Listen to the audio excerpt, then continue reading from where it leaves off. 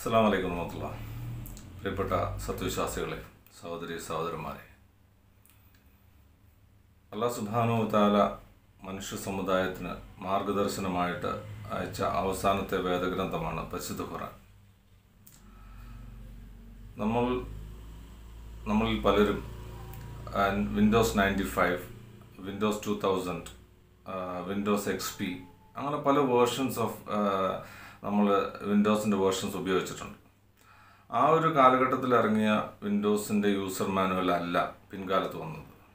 അപ്പോൾ ഓരോ കാലഘട്ടത്തിലും ആ നമ്മൾ സോഫ്റ്റ്വെയർ അപ്ഡേറ്റ് ചെയ്യേണ്ടി വന്നിട്ടുണ്ട്. അപ്പോൾ അതുപോലെ തന്നെ ഇന്ന് നമ്മൾ ആൻഡ്രോയിഡ് ഐഫോണൊക്കെ ഐ ഒ എസ് ഒക്കെയാണ് ഉപയോഗിക്കുന്നത്. അതിൽ നമ്മൾ നിരന്തരമായിട്ട് നമ്മൾ സോഫ്റ്റ്വെയർ അപ്ഡേറ്റ് ചെയ്യേണ്ടി വരുന്നുണ്ട്. പക്ഷേ ഇന്ന് വരെ ആയിരത്തി നാനൂറ്റി നാൽപ്പത് വർഷത്തിന് കൂടുതലായി മുന്നേ അവതരിപ്പിച്ച ഈ പരിശുദ്ധ ഖുർആൻ ഇന്നും അതേപോലെ നിലനിൽക്കുന്നു. ഒരു മാറ്റവുമില്ലാതെ നിലനിൽക്കുന്നു. ആ പരിശുദ്ധ ഖുറാനിൽ നമ്മൾക്ക് പല രീതിയിലുള്ള മാർഗദർശനമുണ്ട് ആ മാർഗദർശനം എന്താണെന്ന് നമ്മൾ മനസ്സിലാക്കേണ്ടതുണ്ട്. അത് ഓരോ വ്യക്തികളുടെ ജീവിതത്തിൽ ബാധിച്ച് വ്യക്തികളുടെ ജീവിതവും ജീവിതവുമായിട്ട് ബന്ധപ്പെട്ടാണ് ഇരിക്കുന്നത്. ഇപ്പോൾ കുട്ടികളില്ലാത്ത മാതാപിതാക്കളാണെങ്കിൽ അവർക്ക് മഹത്തായ ഉദാഹരണമാണ് ഇബ്രാഹിം അലൈഹി ഇസ്ലാമിനും സക്രിയ അലൈഹി ഇസ്ലാം അവർ വാർദ്ധക്യത്തിൽ വരെ കുട്ടികൾ ഉണ്ടായിരുന്നില്ല. പക്ഷേ അവർക്കുള്ള സുബാനോത്തല കുട്ടികളെ പ്രദാനം ചെയ്തു. പക്ഷെ ഇന്ന് നമ്മുടെ സമുദായത്തിൽ കുട്ടികൾ ഉണ്ടാകാൻ വേണ്ടി പലവിധ അനാചാരങ്ങളിലോട്ട് പോകുന്ന ഒരു കാഴ്ച നമ്മൾ കാണാൻ കാണാൻ ഇടയാവുന്നുണ്ട്. ഇത് പരിശുദ്ധ ഖുറാനിൽ അറിവില്ലായ്മയാണ്. അതുപോലെ തന്നെ അസുഖം ബാധിച്ചാണെങ്കിൽ അസുഖം ബാധിച്ചവർക്കാണെങ്കിൽ അയ്യൂബ് അലൈഹി ഇസ്ലാമിന്റെ ജീവചരിത്രം ഒരു മഹത്തായ പാഠമാണ്. അതുപോലെ തന്നെ മറ്റു പല പ്രവാചകന്മാരുടെയും ജീവിതം യൂസഫ് അലൈഹി ഇസ്ലാമിന്റെ ജീവിതം അതുപോലെ തന്നെ മൂസ നബിയുടെ ജീവിതം എല്ലാവരുടെയും ജീവിതത്തിൽ നമുക്ക് പലതര പാഠങ്ങളുണ്ട്. ഈ പാഠങ്ങൾ നമ്മൾ ജീവിതത്തിൽ നമുക്ക് എന്തുകൊണ്ടാണ് അള്ള സുബാനുവത്താല പറഞ്ഞു തന്നത്? ഇത് പറയാനുള്ളതിന് പ്രധാന കാരണം അള്ളാഹിന്റെ റസൂലിന് സല്ലല്ലാഹു അലൈഹി വസ്ലം ഒരു മാർഗദർശനമായിട്ടും അള്ളാഹിന്റെ റസൂലിന് ധൈര്യം പകരാൻ വേണ്ടിയിട്ടും ഒക്കെയാണ് അള്ളാഹ് സുബാനു താല മുൻ പ്രവാചകന്മാരുടെ കാര്യങ്ങൾ പരിശുദ്ധ ഖുറാനിൽ കൂടെ പറഞ്ഞിരിക്കുന്നത് അപ്പോൾ നമ്മൾ പരിശുദ്ധ ഖുറാനിൽ കൂടെ നമുക്ക് ഒത്തിരി അധികം മോട്ടിവേഷൻ ഉണ്ട്. പക്ഷെ ഇന്ന് മോട്ടിവേഷൻ എന്ന് പറയുമ്പോൾ ആൾക്കാർ പോകുന്നത് പല വഴിക്കാണ്. അതായത് ഇസ്ലാമിനെ കുറിച്ച് അറിയാത്തവരെ കുറിച്ച് അറിയാത്തവർ പറയുന്ന ആ മോട്ടിവേഷൻ ക്ലാസ്സുകളിലും അതുപോലെ തന്നെ പരലോക വിശ്വാസമില്ലാത്തവരുടെ മോട്ടിവേഷൻ ക്ലാസ്സുകളിലൊക്കെയാണ് നമ്മുടെ ആളുകൾക്ക് ഇന്ന് താല്പര്യം. പക്ഷെ ഒന്നും മനസ്സിലാക്കണം. അവർ തരുന്ന മോട്ടിവേഷൻ എന്താണ്? അത്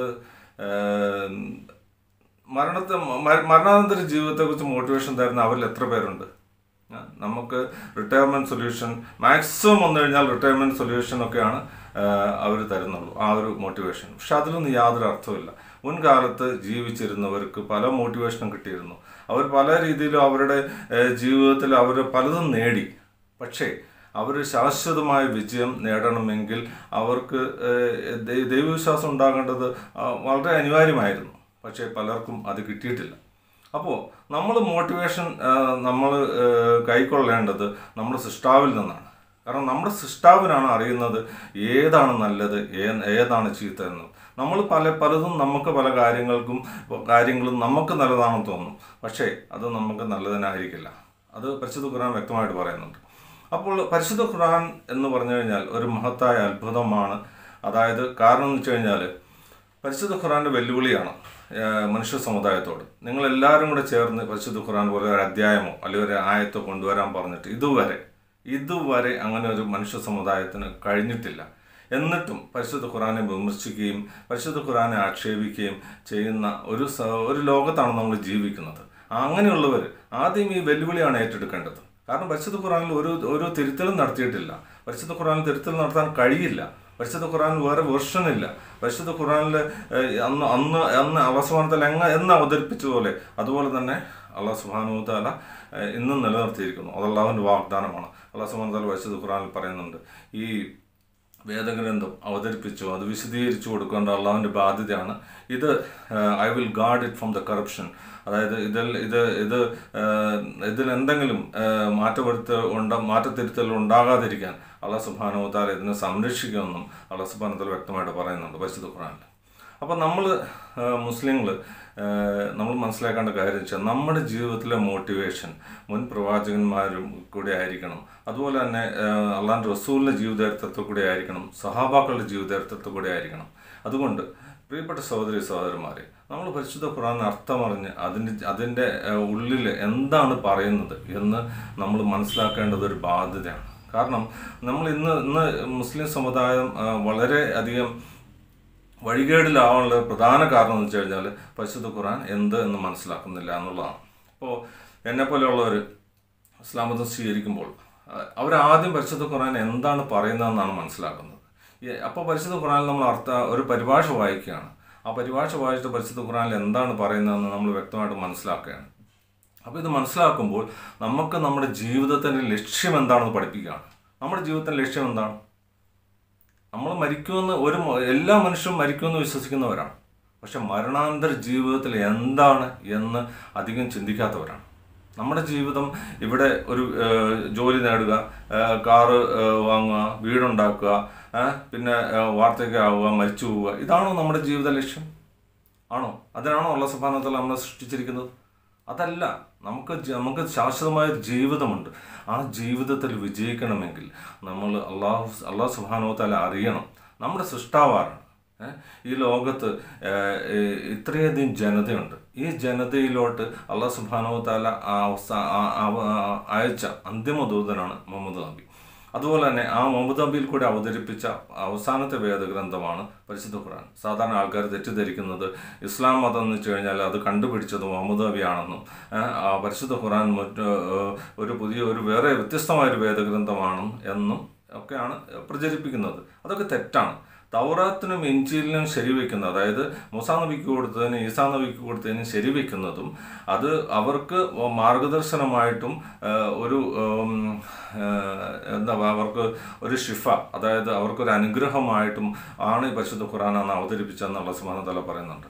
അപ്പോൾ നമ്മുടെ ജീവിതത്തിൽ നമ്മൾ ഈ ഏതൊരു മനുഷ്യനും ആയിക്കോട്ടെ നമുക്കൊരു സൃഷ്ടാവുണ്ട്. ആകാശം ഭൂമികൾ സൃഷ്ടിച്ച സൂര്യചന്ദ്രനെ സൃഷ്ടിച്ച നമുക്ക് വായുവും വെള്ളവും തരുന്ന നമ്മളെ ദിനം പ്രതി നമുക്ക് എല്ലാ എല്ലാ അനുഗ്രഹങ്ങളും ചെയ്യുന്ന നമുക്കൊരു സൃഷ്ടാവുണ്ട്. ആ സൃഷ്ടാവിനെ അറിയേണ്ടത് എല്ലാ മനുഷ്യന്റെയും ബാധ്യതയാണ്. ആ സൃഷ്ടാവിനെ ആരനുസരിച്ചു ജീവിക്കുന്നു? ആ സൃഷ്ടാവ് അനുസരിച്ച ദൂതൻ ആരനുസരിച്ച് ജീവിക്കുന്നു? അവരാണ് മുസ്ലിങ്ങൾ എന്നറിയപ്പെടുന്നത് അല്ലാതെ മുസ്ലിങ്ങൾ എന്ന് പറഞ്ഞാൽ ഒരു വിഭാഗം ആൾക്കാരല്ല. ആര് മൂസാ നബി അനുസരിച്ച് അവർ മുസ്ലിങ്ങളാണ്. ആര് ഈസാ നബി അനുസരിച്ച് ഇന്ത്യയിൽ ഫോളോ ചെയ്ത അവർ മുസ്ലിങ്ങളാണ്. മൂസാ നബിയിൽ നിന്നും തൗറാത്തിൽ നിന്ന് വഴിതെറ്റിപ്പോയവരാണ് ജൂതന്മാർ. ഈസാ നബിയിൽ നിന്നും യേശു യേശുവിൽ നിന്നും യേശു അവതരി യേശു പറഞ്ഞ അധ്യാപനങ്ങളിൽ നിന്നും വഴിതെറ്റിപ്പോയവരാണ് ക്രിസ്ത്യാനികൾ. അപ്പോൾ അവരെ എല്ലാവരെയും അവരുടെ തെറ്റുകൾ പറഞ്ഞു കൊടുത്തിട്ട് അള്ളാഹ് സുബാനുവതാല നമ്മളെ അന്തിമ ദൂതനിലോട്ട് ക്ഷണിക്കാൻ ക്ഷണിക്കുന്ന ഒരു വേദഗ്രന്ഥമാണ് പരിശുദ്ധ ഖുർആൻ. സൂറത്തുൽ കഹഫിലെ ആ- ആ തുടങ്ങുന്ന നാലാമത്തെ വചനമൊക്കെ വായിക്കുമ്പോൾ നമുക്ക് കാണാൻ കഴിയും. ഈ വേദഗ്രന്ഥം അവതരിപ്പിച്ചത് തന്നെ അള്ളാഹ് സുബാനോ താലയ്ക്ക് മകനുണ്ട് എന്ന് പറയുന്നവർക്ക് താക്കീത് നൽകാനാണ്. അതുപോലെ തന്നെ സൂറത്തിൽ ഇബ്രാഹിം. അള്ളാഹ് സുബാന താല പറയുന്നു ഈ ഈ വേദഗ്രന്ഥം മനുഷ്യരെ അന്ധകാരത്തിൽ നിന്ന് വെളിച്ചത്തിലോട്ട് കൊണ്ടുവരാനുള്ള വേദഗ്രന്ഥമാണ്. അങ്ങനെ പരിശുദ്ധ ഖുറാൻ പല രീതിയിലും നമുക്ക് ഇത് എന്താണ് പരിശുദ്ധ ഖുറാൻ നമുക്ക് പറഞ്ഞു തരുന്നുണ്ട്. അപ്പോൾ നമ്മുടെ ജീവിതത്തിൽ നമ്മൾ മാറ്റം വരുത്തേണ്ടത് നമ്മുടെ ബാധ്യതയാണ്. ഈ ബാധ്യത നമ്മൾ നിറവേറ്റണമെങ്കിൽ നമ്മുടെ സൃഷ്ടാവ് പറയുന്നത് എന്താണെന്ന് നമ്മൾ മനസ്സിലാക്കേണ്ടതുണ്ട്. അപ്പോൾ പരിശുദ്ധ ഖുറാൻ അർത്ഥം അർത്ഥമറിഞ്ഞ് വായിക്കുകയും അതനുസരിച്ച് ജീവിക്കുകയും അത് ജീവിതത്തിൽ പകർത്തുകയും അത് അത് നമ്മുടെ മാർഗദർശനമായിട്ടും മോട്ടിവേഷനായിട്ടും നമ്മുടെ ജീവിതത്തിൽ നമ്മൾ പകർത്തി ജീവിക്കുമ്പോഴാണ് നമുക്ക് ശാശ്വതമായ വിജയം ഉണ്ടാവുക അതുപോലെ തന്നെ സമാധാനവും ശാന്തിയും ഉണ്ടാവുക. ഇന്ന് ലോകത്ത് ഏറ്റവും തെറ്റിദ്ധരിക്കപ്പെട്ട മതമാണ് ദീനുൽ ഇസ്ലാം. കാരണം എന്ന് വെച്ച് കഴിഞ്ഞാൽ ഇസ്ലാം എന്ന് പറഞ്ഞു കഴിഞ്ഞാൽ മറ്റുള്ളവർക്ക് എന്തു പറഞ്ഞാൽ പെട്ടെന്ന് അങ്ങോട്ട് സ്വീകരിക്കാൻ പറ്റാത്ത ഒരു ഒരു രീതിയിലോട്ട് അതിനെ അത്രയധികം തെറ്റിദ്ധരിപ്പിക്കപ്പെട്ടു. അതേസമയം ഇസ്ലാം ആർക്കും മനസ്സിലാവും ഇസ്ലാമും പരിശുദ്ധ ഖുറാനും നബിചര്യവും ആർക്കും മനസ്സിലാവുന്ന രീതിയിൽ അത്ര സിമ്പിളാണ്. പക്ഷെ ആൾക്കാർ ശ്രമിക്കുന്നില്ല എന്നുള്ളത് കൊണ്ടാണ്. അപ്പോൾ നമുക്ക് നമ്മുടെ നമ്മുടെ സൃഷ്ടാവിനെ അറിയേണ്ട ബാധ്യതയുണ്ട്. ആ സൃഷ്ടാവിന്റെ സൃഷ്ടാവിനോട് നന്ദി കാണിക്കാനും ആ സൃഷ്ടാവ് നമുക്ക് തന്ന അനുഗ്രഹങ്ങൾക്ക് നമ്മൾ ചോദ്യം ചെയ്യും എന്നുള്ള ഭയവും ഉണ്ടാവേണ്ടതുണ്ട്. അപ്പോൾ നമുക്ക് ആ സൃഷ്ടാവിനോട് നന്ദി കാണിച്ച് ആ സൃഷ്ടാവിന്റെ കൽപ്പനകളനുസരിച്ച് ജീവിച്ച് നമ്മൾ മരിച്ചു പോയി കഴിഞ്ഞാൽ നമുക്ക് ശാശ്വതമായ ഒരു ജീവിതമുണ്ട്. സ്വർഗത്തിൽ എന്നേക്കുമായിട്ട് ജീവിതമുണ്ട്. ആ ജീവിതത്തിലോട്ട് ആ ക്ഷണിക്കുന്ന മാർഗമാണ് ഈ ഇസ്ലാം എന്ന് പറയുന്നത്. ഇസ്ലാം എന്ന് വെച്ച് കഴിഞ്ഞാൽ ഒരു ഒരു മതത്തിൽ എന്ന ഉപരി ഇതൊരു ദീൻ എന്ന് വെച്ചാൽ ജീവിത മാർഗമാണ്. നമ്മൾ എങ്ങനെ ജീവിക്കണം? പരിശുദ്ധ ഖുറാനിൽ വ്യക്തമായിട്ട് പറയുന്നുണ്ട്. സ്ത്രീകളുടെ സ്വത്തവകാശം കടമിടപാടുകൾ അതുപോലെ തന്നെ എല്ലാ വിഷയങ്ങളിലും പരിശുദ്ധ ഖുറാൻ നമുക്ക് മാർഗദർശനം നൽകുന്നുണ്ട്. ജീവിതത്തിലെ എല്ലാ കാര്യങ്ങളും അള്ളാന്റെ അന്തിമ ദൂതൻ പരിശുദ്ധ ഖുറാന്റെ അടിസ്ഥാനത്തിൽ നബി ചരിയയുടെ അടിസ്ഥാനത്തിൽ ഹദീസുകൾ ഉദ്ധരിച്ചുകൊണ്ട് അള്ളാന്റെ റസൂൽ എല്ലാം നമുക്ക് പഠിപ്പിച്ചു തന്നിട്ടുണ്ട്. അപ്പോൾ നമ്മൾക്ക് നമുക്ക് മനുഷ്യന് ആവശ്യമായ എല്ലാ കാര്യങ്ങളും ഈ പരിശുദ്ധ ഖുറാനിലും നവീചര്യയിലും ഉണ്ട്. അപ്പോൾ അതുകൊണ്ട് നിങ്ങളിത് കൂടുതൽ മനസ്സിലാക്കണം. മുസ്ലിങ്ങളും അമുസ്ലിങ്ങളും ഇതെന്താണെന്ന് മനസ്സിലാക്കണം. ഇത് നിങ്ങൾ യഥാർത്ഥ യഥാർത്ഥത്തിൽ എന്താണ് പരിശുദ്ധ ഖുർആൻ പറയുന്നതെന്ന് നിങ്ങൾ ഒരു പ്രാവശ്യമെങ്കിലും വായിക്കണമെന്ന് ഞാൻ നിങ്ങളുടെ സ്നേഹപൂർവം ഓർ ഓർമ്മപ്പെടുത്തുന്നു. അള്ളാഹുവിന്റെ കാരുണ്യം നമ്മളെല്ലാവരും ഉണ്ടാവട്ടെ. അസ്സാം വലൈക്കും റഹമത്തുള്ള വാബർക്കാത്തു